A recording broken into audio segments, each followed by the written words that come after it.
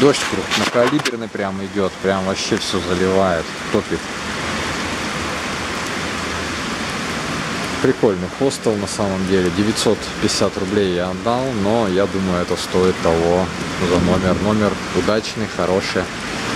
В таком вот доме чудесном.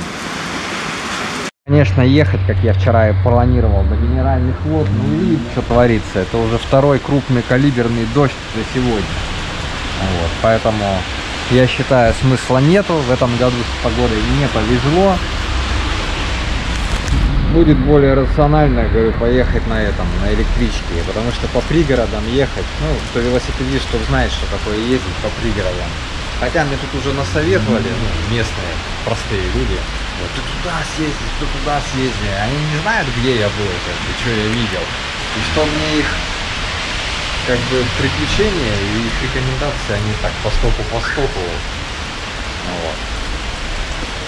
Ну, то же самое я увижу только впрочем и, и потрачу на это время и так далее.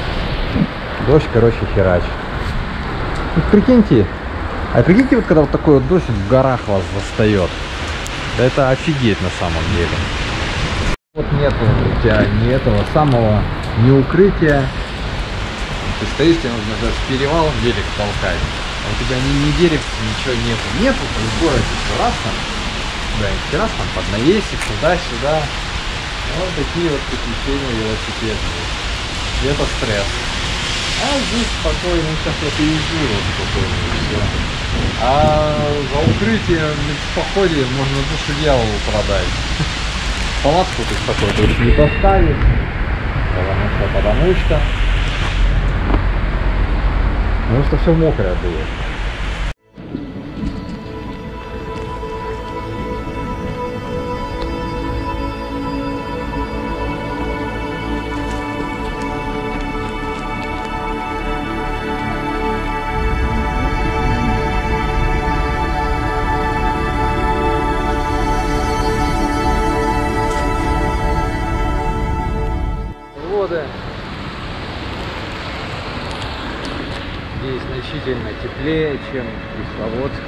Горах. Тут прям сразу выходит.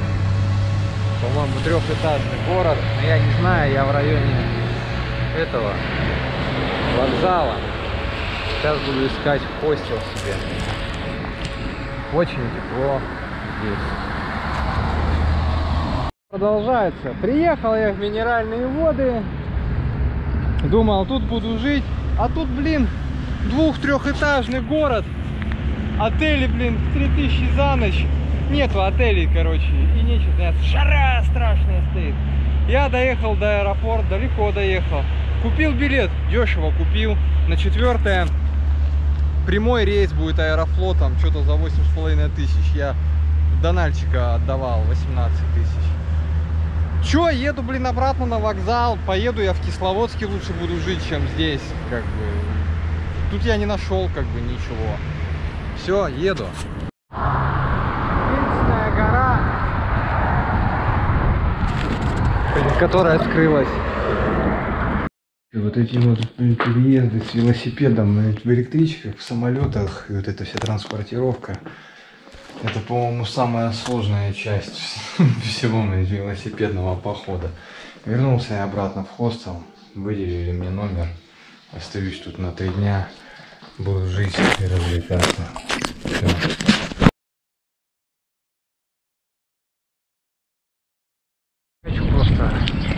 Шататься из угла в угол. Взял, разгрузил велосипед и поехал в одно место. Доеду туда я не знаю. Заодно веточку для флейты из похода попробуем надыбать. Получится или не получится, но в общем. И ну да, вот этот трек велосипедный. Он меня ведет по окольным путям. Смотрим, что дальше. Дорога вывела меня к таким пустырным пейзажам. Где-то там такие горы, как бы, да. И я еду. Вот так вот классно.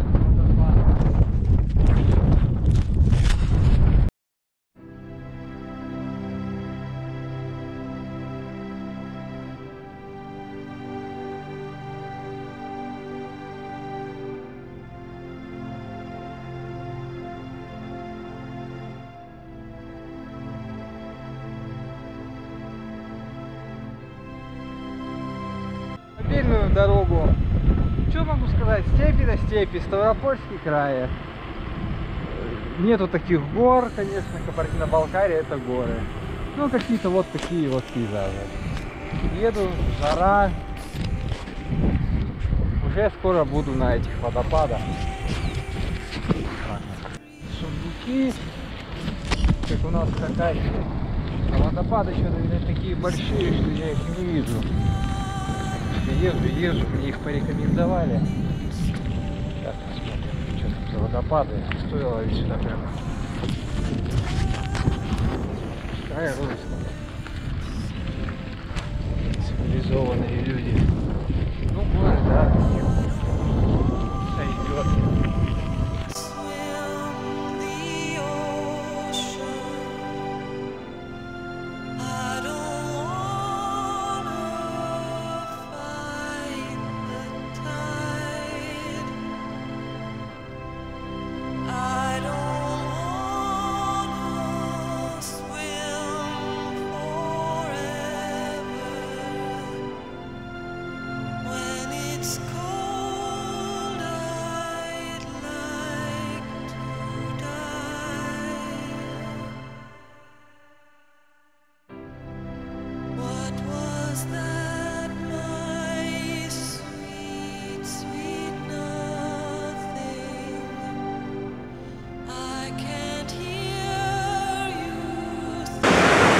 Жажда мучает, воды до хрена.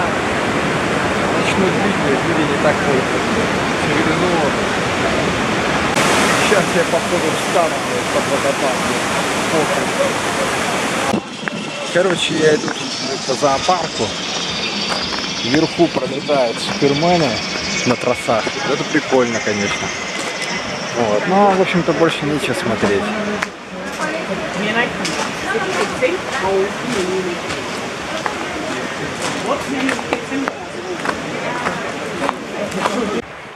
В общем, пошел я по тропе по какой-то до Кисловодска.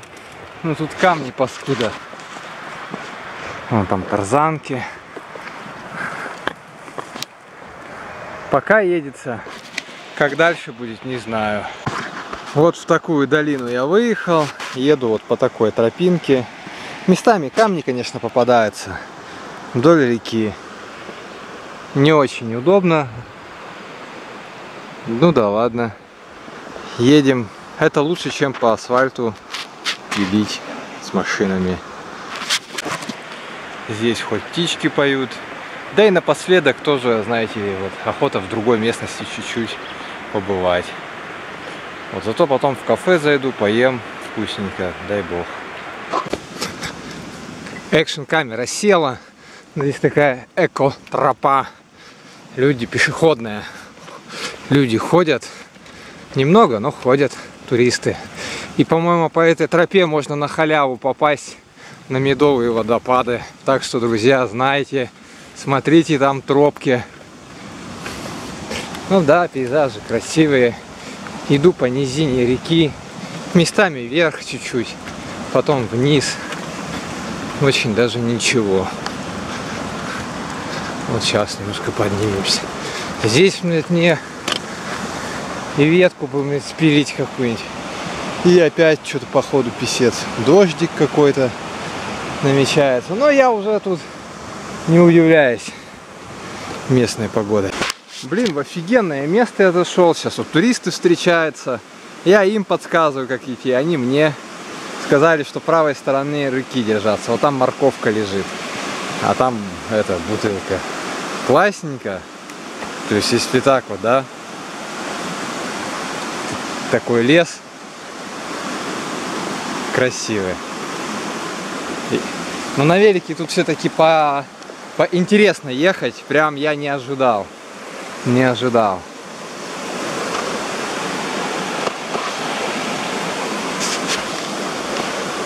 Это еще хорошо, что я велосипед сделал. Тормозные колодки-то в ноль стерлись. Но у меня всегда же там проставка между, ну, короче, шайбы есть. И неотработанные фрикционные накладки. Ну, в общем, я убрал эти шайбы, говорю, толкнул глубже диск. И оно хоть чуть-чуть стало, ну, не чуть-чуть, а нормально стало схватывать вот этот вот остаточные фрикционные накладки. А вообще, блин, отличное место, я не знал, чисто случайно узнал. Мужик с дороги мне подсказал, что вот типа до Кисловодска можно по этой дороге дойти, там, мол, на замок выйдешь. Вот, и я и пошел по ней, чисто вот так. Сначала сомневался. А вообще место хорошее. В каком-то смысле можно хостел было не снимать. Это самое, там, дня два, говорю, здесь в палатке пожить. Город недалеко, там, ну как недалеко, надо ехать. Около речки, чисто, аккуратно, шашлычки. А, не, ну дожди, вот это все, не, нафиг, мне неохота в дожди в лесу, тут комары будут сразу кусаться. Да, так приятно, прям еду, наслаждаюсь. Такая у них, видать, возможно, это такие эдакие карача... карачаевско-черкесские эти, столбы. Да, интересно, прям по ущелью едешь, так приятно. А еще вот тоже как бы смотришь, ну я вот смотрю на это самое, как люди-то отдыхают, вот там немножко снял, что, ну это не по мне такой отдых, вот они толпой, там дети, вот именно организованный вот этот цивилизованный отдых, он такой, вот они как вот толпятся, такие, ну много-много-много людей, вот. Еще мне нравится, вот я еще как бы понимаю, семейный дикий отдых, когда вот берут машину, куда-то едут в лес с палаткой, это-то да. А по мне, видать, скорее всего, вот такой туризм. Ну, видите, блин, тяжелый был поход. И я опять поперся, блин, я не выдержал. Два дня, и все, мне нужно куда-то срочно блядь, ехать. Хотя бы чуть-чуть. Ну, удовольствие я получаю. Впрыскивается у меня этот, э, этот дофамин, видать. Короче, вот доехал я до места. Типа даже тоже, я так понимаю, туристическое место. Сюда автобусы ходят. А отсюда, видать, люди пешком ходят. Я проехал весь путь минут, наверное, за 30. Интересно, в тени деревьев, э, возле влаги воды. Очень интересный путь. Это лучше, чем я, если бы ехал по асфальту, обратно по той же дорогой, по жаре, средь машин и посреди раскаленного асфальта. Очень здорово, хорошая прогулка.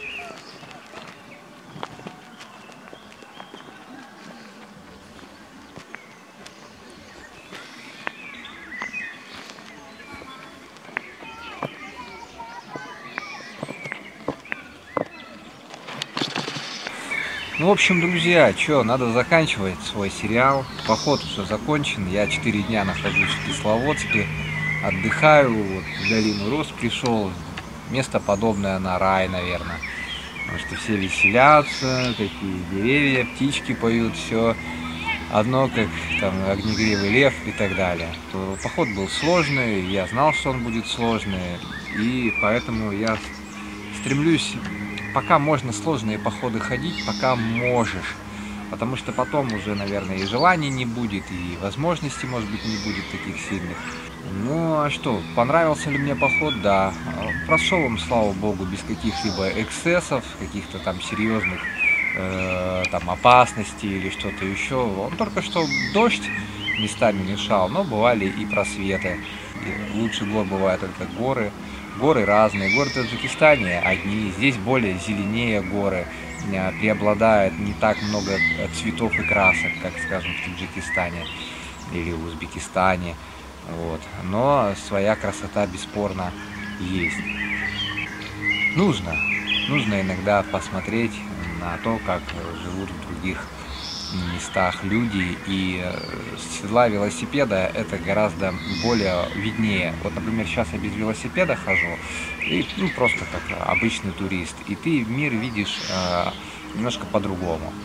А, ты видишь именно, именно как турист. А седла велосипеда, конечно, ты едешь и видишь это, как-то ну, погружаешься. То есть в течение всего велосипедного похода ты как бы погружаешься в этот мир, в этот этнос, э, ментальность того народа, который проживает там. Вот. Ну и, соответственно, пропитываешься духом окружающей тебя природы. Да, кстати, по поводу выбора техники. Мой байкпекинг, конечно, очень здорово себя показал. Несмотря на то, что это быстрая пилотная версия, задняя сумка просто замечательно. Отличные нагрузки. Ну, представляете, там постоянно, каждый день такая долбежка. Там багажники порой не выдерживают. Вот. Вот. А.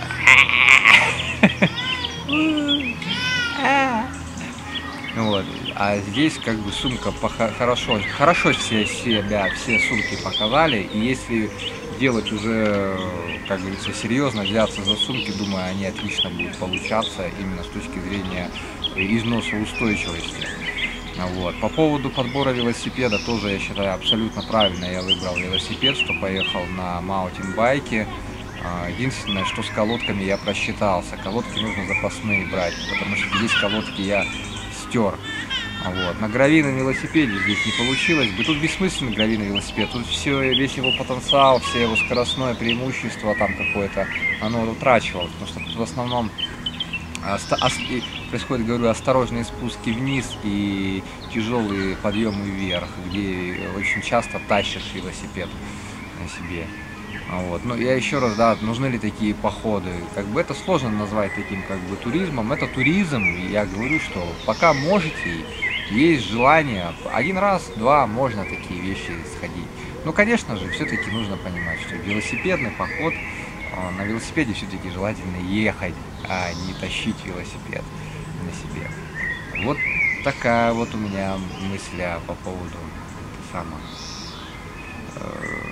По поводу, надо было ли брать газ, ну, думаю, может быть, в этом походе действительно нужно было взять газ, потому что из-за постоянной влажности э, с приготовлением еды были проблемы. Но, опять же таки, тактика э, с питанием вот, тоже правильная. Учитывая опыт э, Таджикистана, Хакасии, действительно, здесь я именно применил эту тактику. То есть никакой готовки еды в плане, что там сидеть, да, там кулинарное искусство демонстрировать в походе акцент именно чисто на какой-то этот самый на калории, ну, на, на калории, на восстановление энергетической ценности организма, ну, вообще на энергии, да, организма. По поводу народности, а, ну, по крайней мере, вот кабардинцы и балкарцы, изумительный, конечно, народ, а, мусульманский народ со своими традициями, со своими устоями. Все это мне как бы понравилось. Действительно, они очень гостеприимные. Многие, вот у нас, например, там москвичи в том числе, где-то там, может быть, жалуются. Это, наверное, а, особенности ситуативная, потому что туристы, я вот видел в походе, вот, например, туристы, которые вот русские в том числе, они ведут себя иной раз э, высокомерно, может быть, так, знаете, типа, что вот мы тут, знаете, белые люди. Я не говорю про всех русских. На моем пути попадались и замечательные русские люди. Вот. И, соответственно, на некоторое высокомерие вот этих вот белых людей, да, может быть и соответствующая кавказская вот реакция есть. В целом, отличный народ. Мне нравится, вот женщины у них ходят вот там в платках, такие все аккуратные, э, дисциплинированные. Мужчины у них э, также как бы верующие, я вот действительно иногда вот тоже ходил, смотрю там по времени стукнуло, они уже там молиться принялись. Это значит, что народ, они э, как это, богобоязненный.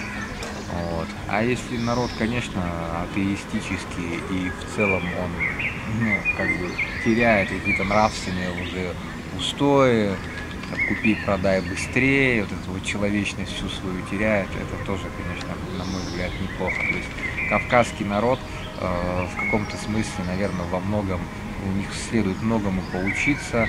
Ну, наверное, быть, исламский мир, вот этот мусульманский мир, да. А, вот. Отличный народ, на самом деле. Вот. Конечно, тут я не говорю, среди них тоже, скорее всего, есть э, подонки какие-нибудь, да, ну, скажем так, нехорошие люди есть. Вот. Но постоянно, вы сами видели, доброжелательность. Если, если ты к ними, с ними по-доброму, и они тебе ответят взаимностью. Вот.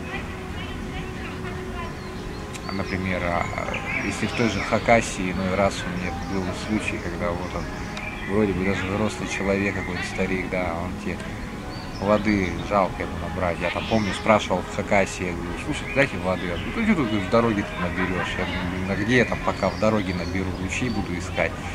Вот. Ну, такие, друзья, дела. Это по поводу э, народности. Я думаю, чеченцы, может дагестанцы, я уверен, что такой же мирный, доброжелательный народ. В целом поход получился как бы, ну, он по километражу не, не очень длинный, он где-то ну, 400 километров в совокупности. Вот, но учитывая именно наборы высоты и сбросы, и потом опять наборы высоты, это довольно неплохой. Конечно, некоторые велосипедисты могут сразу кидаться, вот, что-то мало, а я вот, а, я- а я-то вот, вот там-то где-то. Конечно, с дуру можно, знаете, и 20, и 30, и 50 перевала взять. Еще, говорю, палку в одно место вставить, чтобы прям для трэша, для эпики. Все-таки тут нужно очень четкий баланс, чтобы туризм и туризм и испытания как-то, может быть, сочетались в каком-то смысле. Поход я назову, наверное, 10 перевалов Кабардино-Балкарии. Это, кстати, долина Росрай, да. Вот, и это достаточно. Я как бы заложил, заложил столько, э, такой маршрут, который мне покажется достаточным. То есть там, где я, в принципе, все увижу, то есть именно для души и горы, перевалов. И, в принципе, мне кажется, вот четко-четко хватило. Конечно, когда я уже 4, 4 дня мне сел в Кисловодске, ске, конечно, у меня возникло ощущение, что лучше бы я, ну, сейчас бы ехал. То есть с удовольствием бы на самом деле сейчас куда-нибудь ехал. Но не по ну таким по умеренным, может быть, горам, да. Ощущение продолжения велосипедной покатушки, вот это чувство свободы есть. Вот. Поэтому такие, друзья, дела. Это я вот прошелся, чтобы вам вот показать немножко этот рай, как выглядит. Может быть, я все-таки не выжил в этом походе и вещаю вам с того света. Ладно, друзья. Короче, подписывайтесь на канал. На этом как бы сезон велос- велосипедных путешествий моих заканчивается. На этом сезон велосипедных моих путешествий заканчивается. Может быть, там будут краткие походы. А вы, друзья, подписывайтесь на канал, ставьте лайк и до новых встреч.